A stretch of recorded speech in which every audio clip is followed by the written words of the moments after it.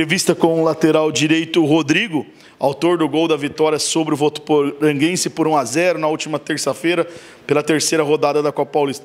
Rodrigo, antes, quando você fez o primeiro gol no, pelo, com a camisa do Botafogo contra o Criciúma, você disse que tinha a meta de superar seu recorde de gols numa temporada que era dois. Já fez três nessa temporada. Ainda tem mais gols pela frente?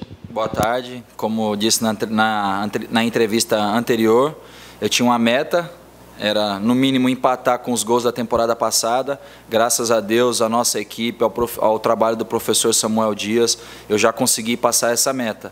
E se tiver a oportunidade e encaixar de fazer mais gols é, para ajudar a equipe, que é o primeiro objetivo, a gente conseguir as vitórias e fazer gols, é, isso vai ser muito importante para mim individualmente, mas primeiro sempre pensando no coletivo. Rodrigo, no jogo contra o Votuporanguense fez um gol de bola rolando, né? Os outros dois gols tinham sido de bola parada. Foi uma infiltração sua após uma jogada bem trabalhada pela equipe, que passou por nove dos onze jogadores. Né? A gente ficou com um minuto, o Botafogo ficou com um minuto e dois segundos com a posse de bola na hora do gol. O que é esse fruto desse trabalho? O que está mudando diferente que o Botafogo agora tá, tem essa jogada?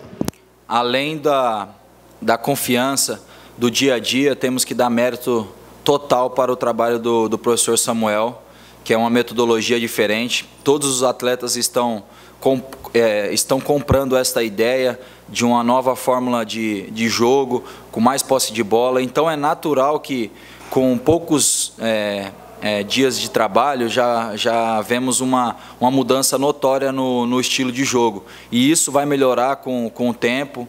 Agora que a gente tem jogos uma vez por semana, trabalhando todos os dias isso, é, a tendência é que melhore ainda mais é, essas jogadas, que saiam mais gols assim dessa forma, por muito por mérito da, da, da comissão do, do, Samuel e do, da compra da ideia dos jogadores.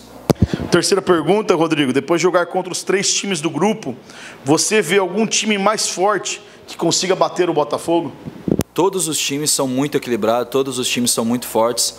É, a gente entra em cada partida pensando naquele jogo, pensando naquela equipe, sem menosprezar nenhuma equipe que a gente sabe que hoje lá dentro de campo, no 11 contra 11, todos os, os times têm é, jogadores muito bons e, e, igualam na técnica, na, na tática, então sempre você tem jogos muito equilibrados. A última pergunta, Rodrigo, no jogo contra o Votuporanguense, era esperada a volta do público, porque o governo do estado liberou a presença de 30% dos torcedores. Mas a Federação Paulista de Futebol decidiu que só vai permitir público nos estádios a partir da segunda fase. Qual a sua opinião a respeito disso? E quanto é ruim ainda não ter jogado com a presença do torcedor botafoguense no estádio? É ruim, né? Não jogar com a com a torcida do Botafogo nos apoiando, nos empurrando. A atmosfera, o clima de uma partida muda completamente quando você tem tem torcida, né? Já visto no, nos jogos de Série A, Série B do brasileiro que, que, já tem, que já tem torcida. Então, e outra, fazer gol também com a nossa torcida é completamente diferente, não só comemorar com nossos parceiros ali, do pessoal que está que tá junto, do staff que está aqui no dia a dia, seria importante, mas isso a gente deixa para para a federação, para os órgãos é, especialistas nisso aí, para decidir a, de quando ou não voltar as torcidas.